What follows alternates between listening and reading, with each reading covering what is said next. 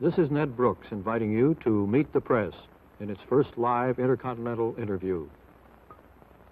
Meet the Press, America's press conference of the air, and winner of every major award in its field, is a public affairs presentation of NBC News.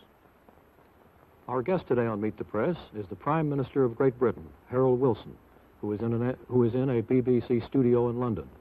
Our reporters in our Washington studio are ready to question the Prime Minister by means of the Early Bird satellite in the first live intercontinental interview on Meet the Press. And now we'll have the first question from Lawrence E. Spivak, permanent member of the Meet the Press panel.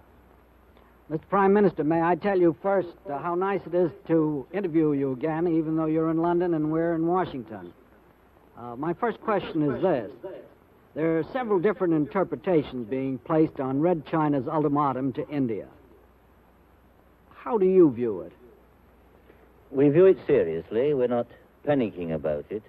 We view it uh, pretty seriously because it is quite plain, I think, that China is getting fairly used to fishing in troubled waters, and this is, and here we have exceedingly troubled waters. Uh, we hear, of course, that there's been an extension of the time limit provided, but we're watching it very carefully, and of course it's right that we should be in the closest touch, not only with all our colleagues in the United Nations, but particularly with Washington.